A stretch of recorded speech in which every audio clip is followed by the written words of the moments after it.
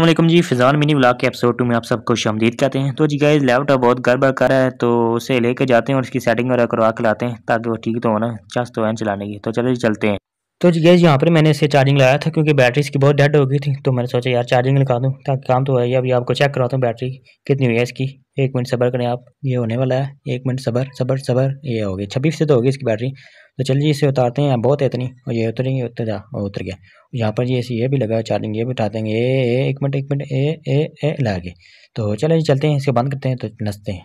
तो जी गैस रबी भी शुरू हो गया, ये मुझे एक छोटा सा झंडा मिला है। ये हम बाइक पे लगाएँगे, यहाँ पर लगाएँगे जी, इधर लगाएँगे जी।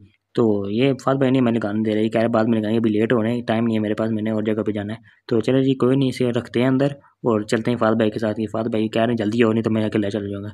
तो चलो जी, इसको यहाँ पर रख देंगे।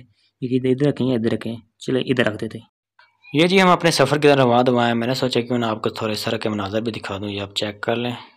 तो जी गैस अपनी मंजिल पर पहुँच गए हमने बाइक पार कर दी है। देखें, कैसा चमक रहा बाइक तो चलो जी, चलते हैं और यहाँ पर देखिए, एक और बाइक खड़ा हुआ। ये देखें रिफात भाई जा रहे हैं आगे आगे तो हम इनके पीछे पीछे चलते हैं।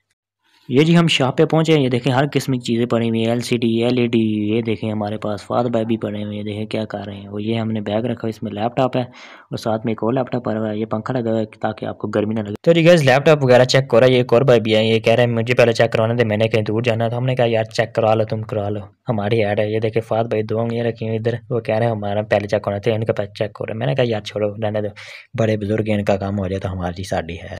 तो जी गाइज़ लैपटॉप की सेटिंग वगैरह होगी और अभी भाई से पूछते क्या खाना है इन्होंने? दो बर्गर खाने इन्होंने। तो चलें जी, इनको दो बर्गर खिलाते हैं क्योंकि ये मेरे ऊपर गिर हैं, इनका भूख से बहुत बुरा हाल है। तो चलें जी, चलते हैं।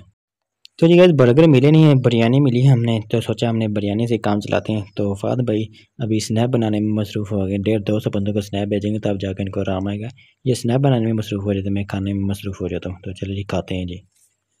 बिरयानी वगैरह जी खा ली है और अभी हम बालों को थोड़ा सेट करेंगे और ये आपको दिखाएँगे प्लेटें बिल्कुल खाली हो चुकी है, ये मेरा बैग पड़ा हुआ है और फाद भाई बिल देने के लिए बेताब हो रहे हैं, लेकिन इन्हें देना नहीं है, मैंने देना है। खाना वगैरह जी खा लिया और अभी हम जाएँगे वापस, ये देखें वन टू फाइव स्टार्ट होने वाला है और चलते हैं वापस घर की तरफ़। तो जी गैस अभी हम पहुँचे हैं सैफ होंडा सेंटर में, यहाँ पे फाद भाई ने कोई अपनी बाइक के लिए एक लाइट लेनी थी, वो यहाँ से ले रहे हैं। तो जब वो आएँगे तो फिर वापस जाएँगे घर की तरफ़, अभी देखते हैं कितना टाइम लगा। आज की व्लाग से दीजिए इजाज़त, मिलते हैं नेक्स्ट व्लाग में, अल्लाह हाफिज़।